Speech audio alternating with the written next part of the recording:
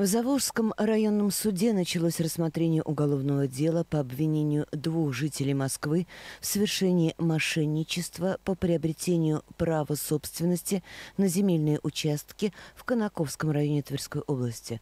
По данным следствия, в период с 2013 по 2016 годы двое москвичей, желая обогатиться, используя поддельную выписку из протокола общего собрания членов правления садоводческого товарищества, зарегистрировали измененные сведения о руководстве СНТ на одного из мужчин.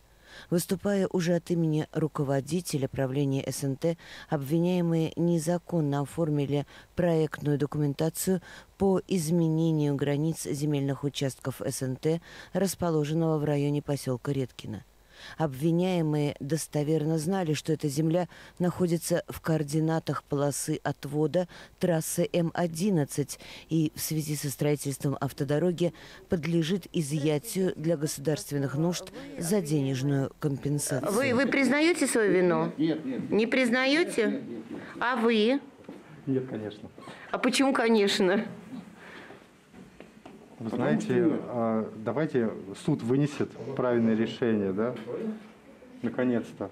Следствие полагает, что своими действиями мужчины совершили мошенничество в особо крупном размере, наказание за которое предусматривает лишение свободы до 10 лет.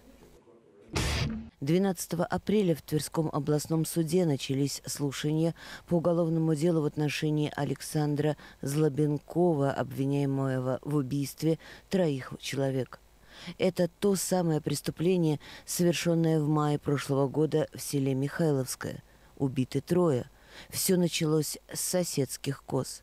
Подробности в следующих выпусках патрульной службы.